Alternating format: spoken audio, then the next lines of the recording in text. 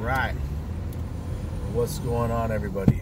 Um, stuck in traffic, so I was like, you know what? I, I wanted to shoot a video for a while now, and I just haven't had time. But I have time right now because I'm stuck in traffic. Uh,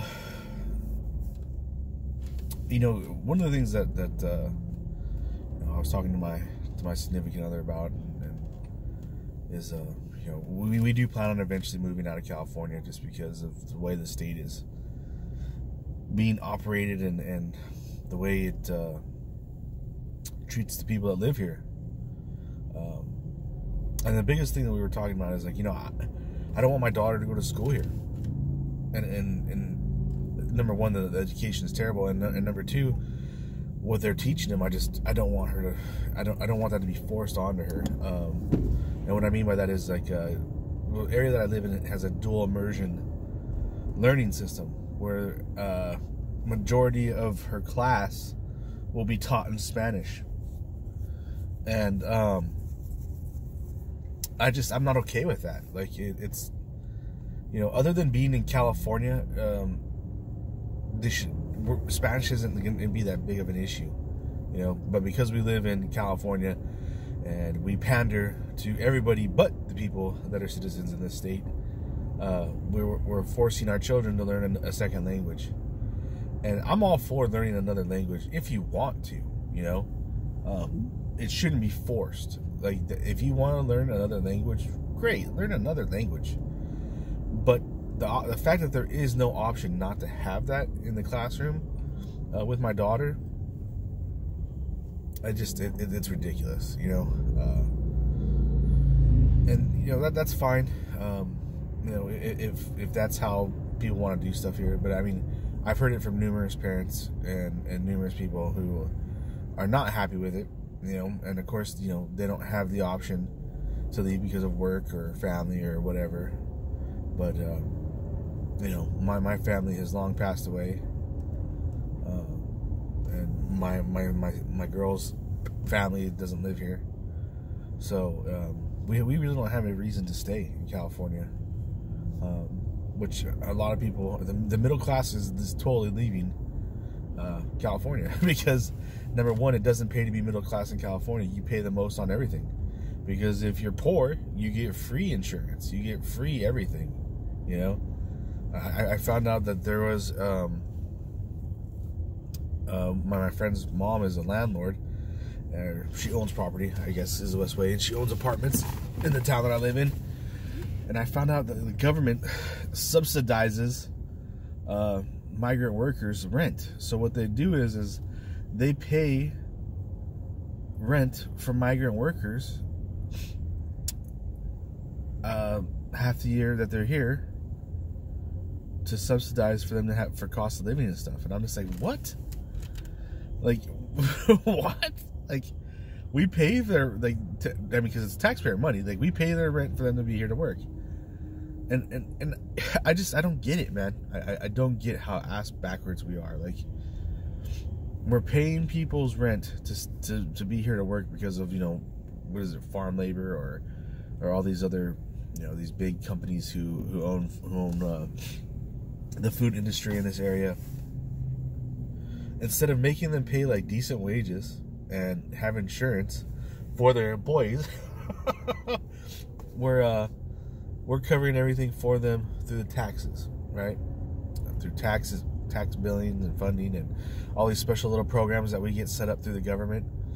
And all these big companies ad companies don't pay shit. The majority of them don't pay shit. Because half, half the people that are here illegally, you know, they're on Medi-Cal. You know, they're they're getting government subsidies, which as middle class, if you're a citizen, you don't qualify. You know, you don't qualify for that shit. So California is backwards as fuck. Um, we don't take care of the people that are paying the bills and the taxes for everyone else. Because if you're super rich, you don't give a shit either way, right? You, like you, you see these celebrities and these rich people, they're just like, you know, they don't care they're like, yeah, bring, you know, who cares who comes over here? You know, who cares about this? Because they're super rich. It doesn't affect them. You know, they're not they're not gonna have to deal with the issues that people who live in areas where like all this stuff is happening. You know, you know, uh, they they just don't care because rich people are to send their kids to private schools. Rich people, you know, have their own little gated private communities, you know, so it doesn't affect them, you know. Um, so that was that was one of the things I, wanted, I just wanted to get off my chest because I was just like, you know, because now you know my daughter's two, getting ready to be three, so you know we're, we're gonna be looking at preschools and stuff pretty soon, you know, and uh, I just I'm, I'm just severely dis- disappointed in, in in California. Like it's just it's so bad. And I'm sure people are gonna be like, well, why wouldn't you want your daughter to learn another language? It's not that I don't want my daughter to learn another language. Okay, that's not that's not the point. I want my daughter to choose what language she wants to learn because there's tons of them out there. I don't want her to be forced to learn a language because it's better for the area that we live in. Like, what what is that, dude? Like, English is our language, right?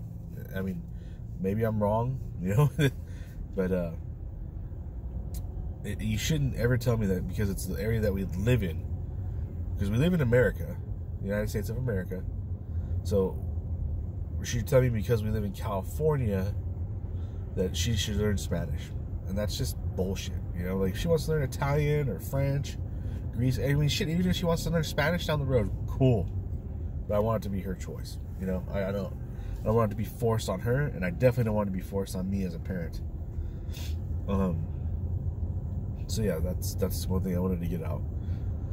The other thing is like, oh my god, I still, I still, I'm, I don't know if I've talked about it before. I probably have, but I am so sick of trucks on the road while I'm driving to work, dude. Like, I'm not talking about like pickup trucks and shit like that. I'm talking about like diesel trucks because they just cause so much traffic. And, and I was thinking about it, and I was thinking about it, and I was thinking about it, and I was like, dude, you know what? Like, we should eliminate trucks being able to drive on the road from seven in the morning to seven at night right? I mean, I think that would help the community process like so much. Like I'm I'm in traffic right now, and all I see, you know, like yeah, there's regular cars, but I see so many diesel trucks, and like they back up traffic because they move slower. You know, it's just I, I, when you're when you're on your way to work and you're stuck behind a diesel truck trying to go up a hill.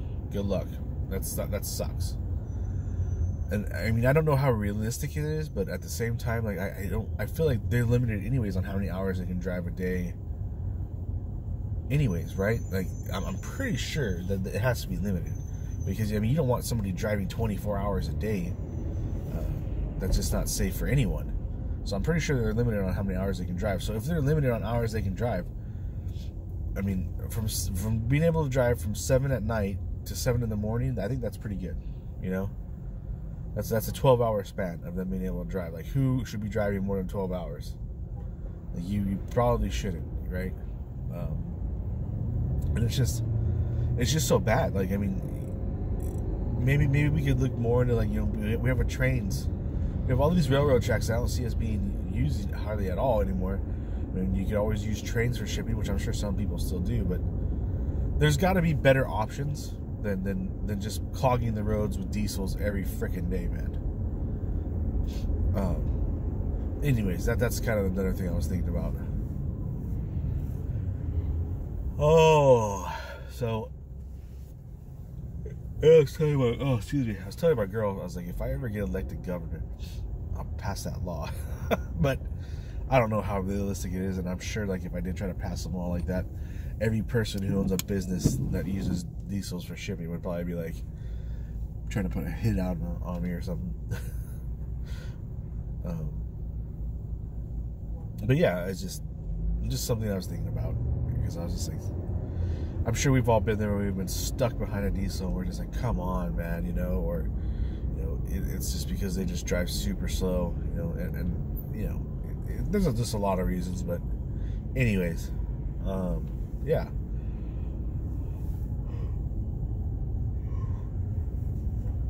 And let's see the other thing. I mean, I guess I could talk a little bit about some sports. Um, you know, you got the NBA Finals starting tonight. Toronto versus um, the Warriors. Uh, I'm expecting the Warriors to win, like most people.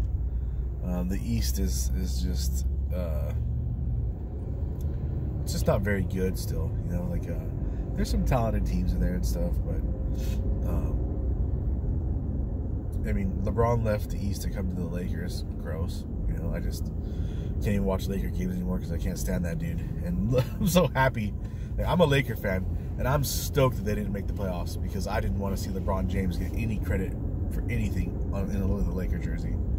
Um, but anyways, like uh, I was, I, you know, everybody picked Milwaukee to win the East, and you know, it, it just there's only one team that I that I thought was I thought Toronto was probably going to make it to the to the finals. You know, um, I thought Boston might have had a good chance, but they you know they lost to Milwaukee pretty handily, I believe. Um, but uh, Toronto was my, my pick. It's my, my second, just because Kawhi Leonard's been there.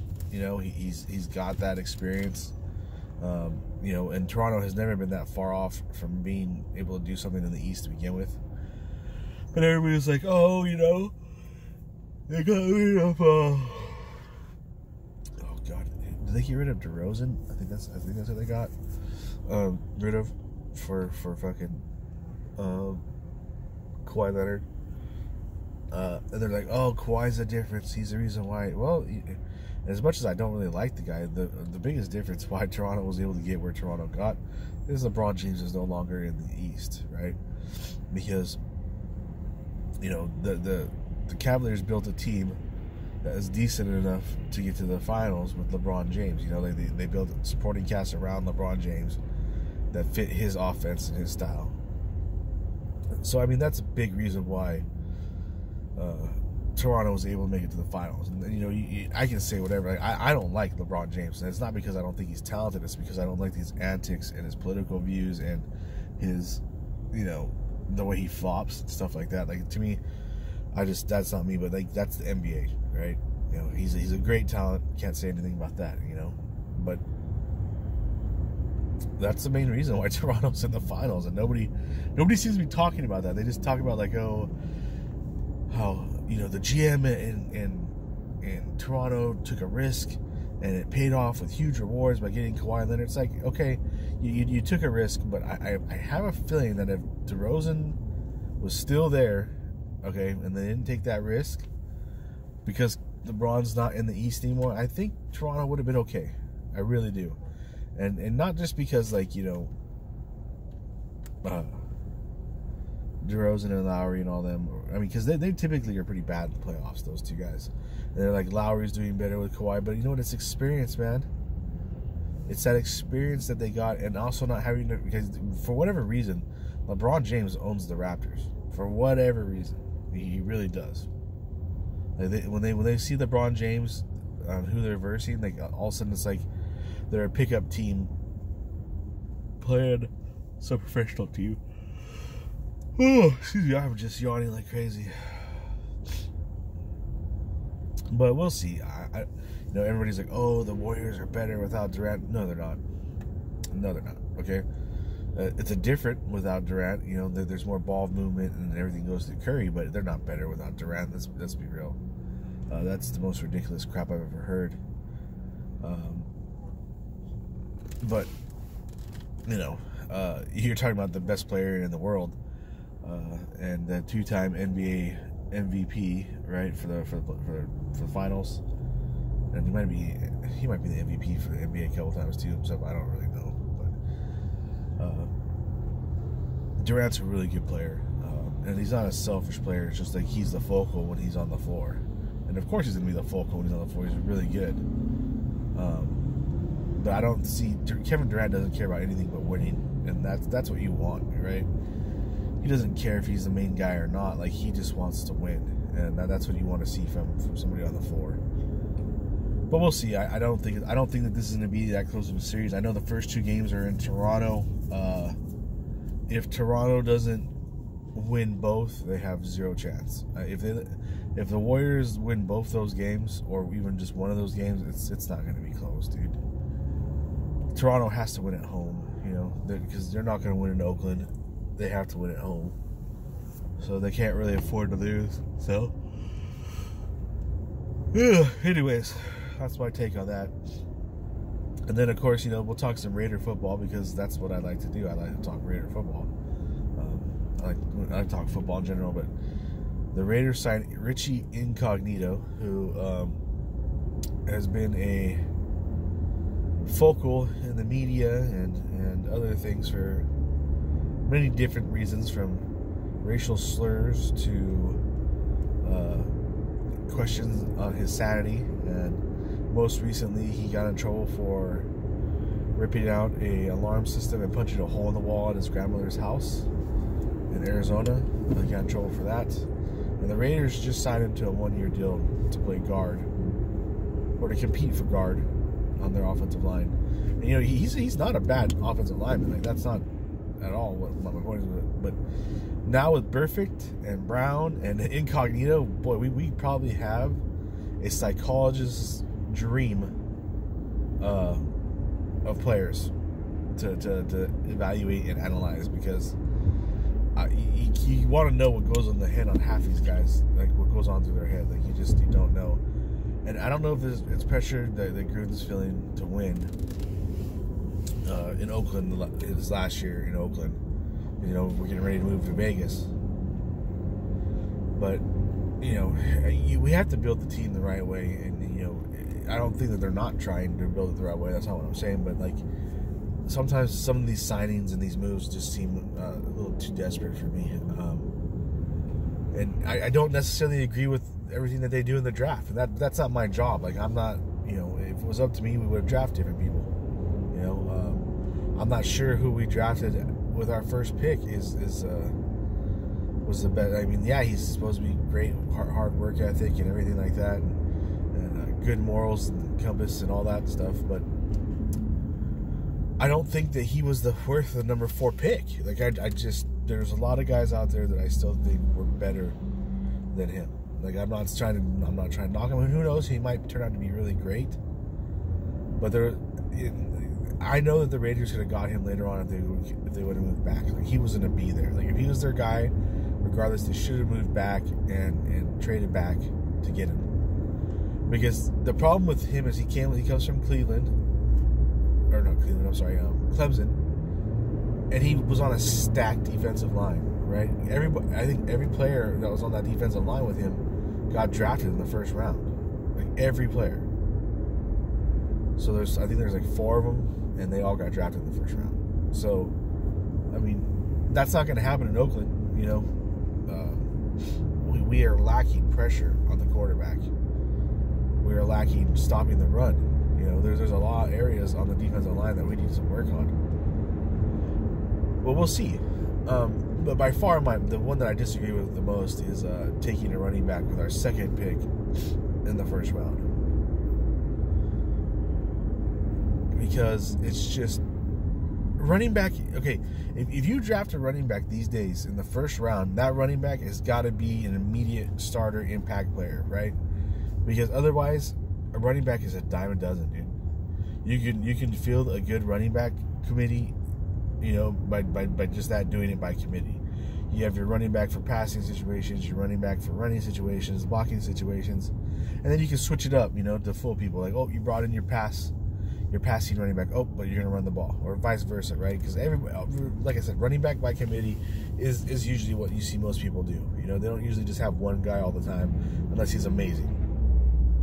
And even then, he's a running back, right? Like people are talking about how is Dallas going to be able to re-sign Ezekiel Elliott, and everybody's like, "Oh, they have to." But in, in, in honesty, a lot of good, a lot of people are saying, you know, from what I've heard, that like the Cowboys aren't going to be able to afford to sign somebody, and he is just a running back. Like that's the argument, and they've already proven with that offensive line that anybody can run behind them. So do you spend tons and tons of money on a running back who is who is really good. Like, yeah, he's good.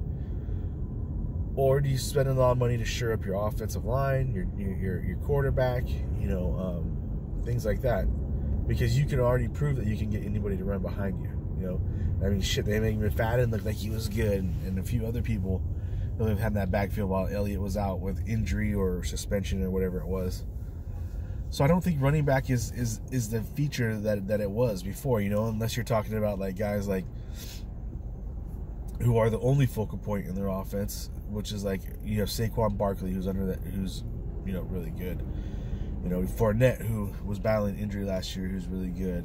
Um, you know you have Gurley, really good, but, great surrounding around him. Like you know what I mean? Like running back is important, but it's not like it used to be. You know, like um, the the league has moved more towards a passing first type thing. So I, I don't when I when I think about people trying to save money, I think they're going to save it at the running back position because it's not what it used to be. You don't need you don't need to have the most dominant runner in the league to be successful.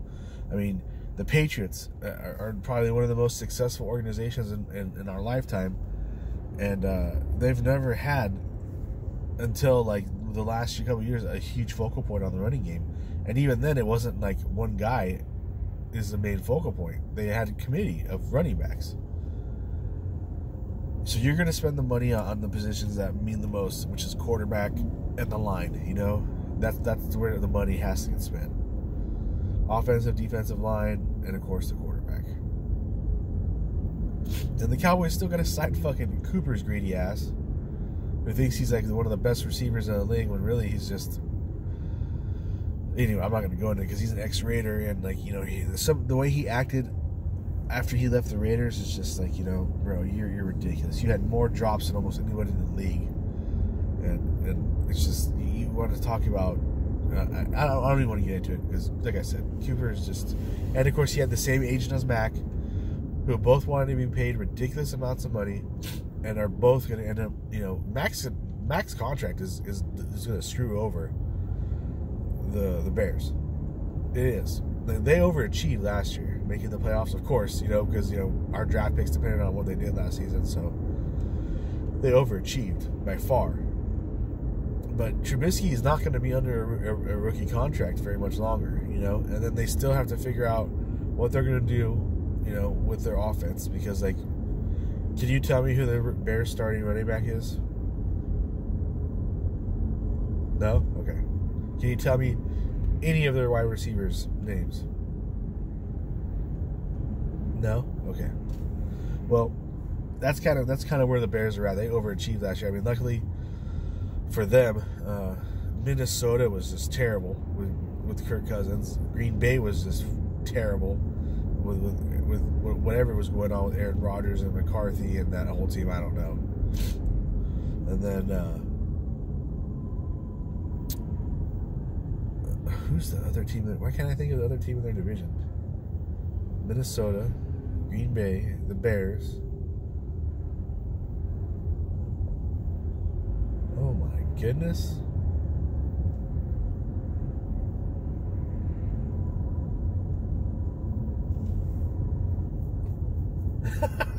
I can't think of the four teams. Well, whatever. It'll come to me like after I get done.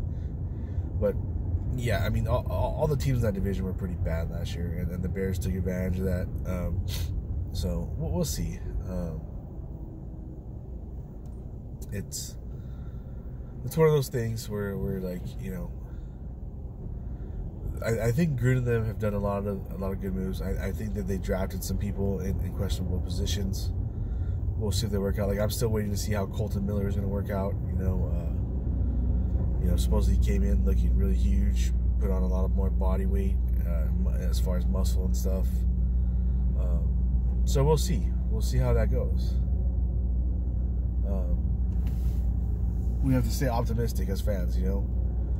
It's been a long time since the Raiders have been pretty decent, you know. I mean, uh, we had one season a few seasons ago where we went 12 and 4.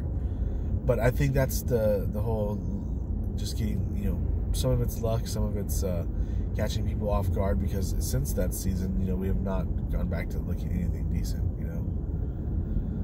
And you know, we'll see. Gruden's got a good mind on his head, or a good mind in general for football, you know, and he's and he's building his team like the way he wants it, and and, and it's gonna break or break Derek Carr. This I think the next year this this year coming up is, is like if Derek Carr doesn't perform like you know like we need him to perform, don't be surprised if Gruden starts looking for another quarterback. I, I because you know I, I just we, we can make excuses for for Derek Carr for a long time because he has had a lot of different offensive systems, but now this is his second year under Gruden's system. You know, uh, he's got he's got to show progression, um, and and his stats weren't terrible last year, but our offense was not very good last year. it just it just wasn't like there was there was games where we were not able to to score or even touch the end zone half as much as we should have. Um, and we'll we'll see we'll see how that goes, you know. Um, but yeah, anyways, that's it for today. Just a little bit of short talk, nothing too huge. Uh, got off my chest what I need to get off. All right, you people be good. Peace.